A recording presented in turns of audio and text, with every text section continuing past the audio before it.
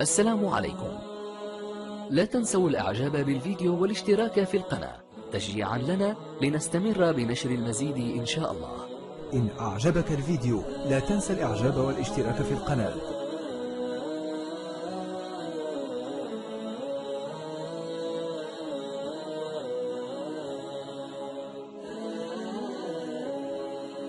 السلام عليكم.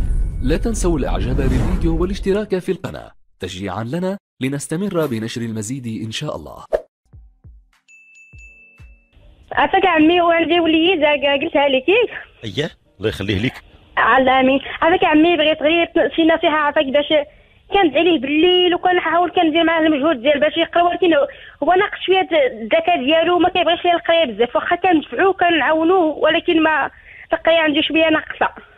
شحال العمر ديال دابا بنتي خديجة؟ دابا العمرو 8 سنين ونص. الله يخليه لك لا لا الله يخليه لك. واخا بإذن الله. بنتي خديجة هذا ال- الوليد عندك اللي عنده الآن آه، 8 سنين ونص وعنده الدراسة عنده قليلة ضعيفة. لعل ذلك ناتج حسب ما أذكر أنك أنت مطلقة.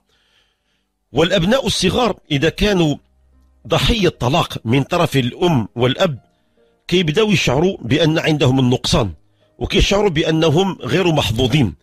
وبالتالي يبدأ عنده انعكاس على الشخصيه ديالو فتجده إما عنده مشكل تمتمه أنه يتكلم ويتمتم وإما ك- قد يكون عنده مشكل التبول اللا إرادي بالليل وإما قد يكون عنده تأخر في الفهم والإدراك.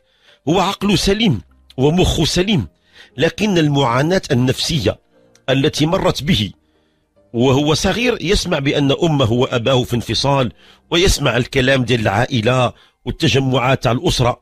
هذا الخصام بين الأم والأب والفراق هو يسمع ويستقبل ويتأثر بذلك. ومن ثم فكينعكس لي على على ال التحصيل العلمي ديالو. لهذا نحرص على أن نترك أبناءنا وبناتنا جانبا. لا نجعل المشاكل العائلية تؤثر فيهم لأنهم يستوعبون ويستقبلون بسرعة.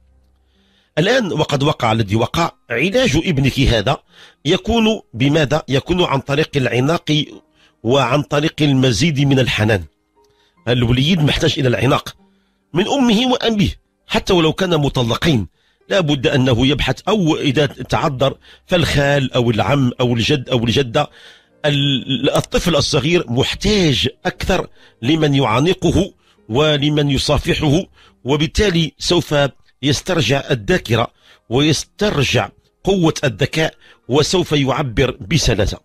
السلام عليكم.